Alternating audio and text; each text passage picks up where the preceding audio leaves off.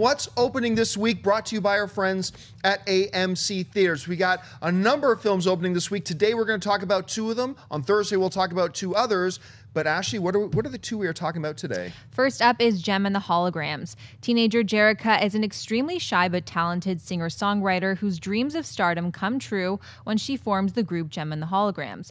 Other members include her younger sister Kimber on keyboards, drummer Shana, and bassist Aja. With help from Rio, the son of the CEO of Starlight Music, the four young band members find their own voice while taking the world by storm. Next up is the new Vin Diesel film, The Last Witch Hunter.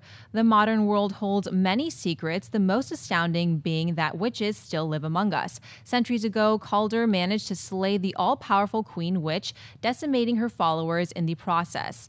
Before her death, she cursed the valiant warrior with her own immortality, separating him from his beloved wife and daughter in the afterlife. Her resurrection now threatens the survival of the human race as Kaulder, the only one of his kind remaining, faces her vengeful wrath.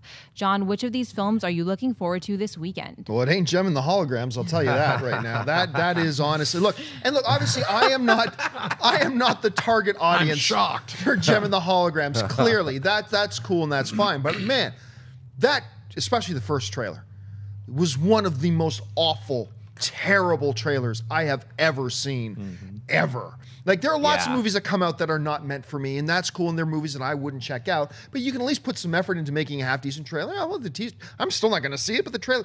This was awful. I have absolutely no desire to see this film, so you won't see thing. me there.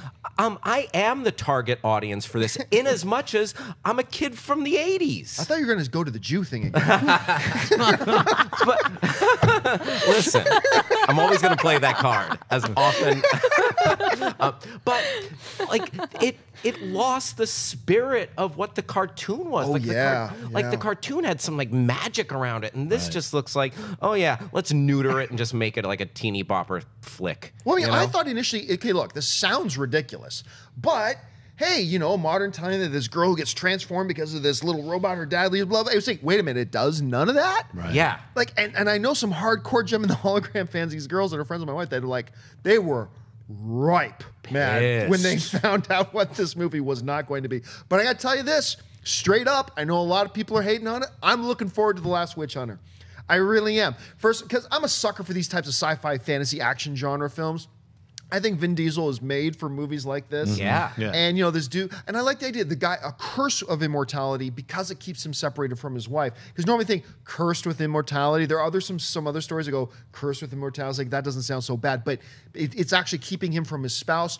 I think it sounds you got Michael Caine in there. You got Spider Man in there. Was Michael it, wait, wait, wait. Is it Tobey Maguire? Who is it in that? Was it Tobey Maguire or is it? Uh, it's Tobey. It is Tobey Maguire. Yeah. This is there. Okay and and that looks no, great. Elijah Wood. Elijah Wood. Elijah, Elijah Wood. Elijah Wood. Elijah Wood. one of the two of them. Yeah. And I love that one scene in the trailer where he's like, "Do you want out? No, I want to raise." I love that line. I think that's great. So out of the two of them.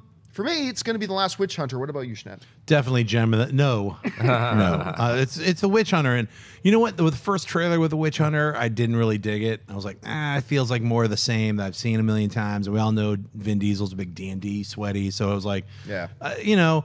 Uh, second trailer, I, I, it, it, sold me. It had that those elements of comedy. It just it had a little bit more enough of enough of what the movie's going to be about to make me say, you know what, I'm going to see this, and I bet it's better than the Seventh Son. So just hoping. What about you, Hal? It's it's got to, it's got to be Witch Hunter all day long. I mean, and I just want to hear Michael Caine say, "I'm not going to bury another witch hunter." That's right. um, uh, but like, here's a question: what happened to the first witch hunter? Did I miss out on a bunch of witch hunters? Prequels. oh, yeah, yeah, that's, yeah, that's prequels right there all but day long. Vin, yeah, and uh, like you said, Vin Diesel's made for this stuff.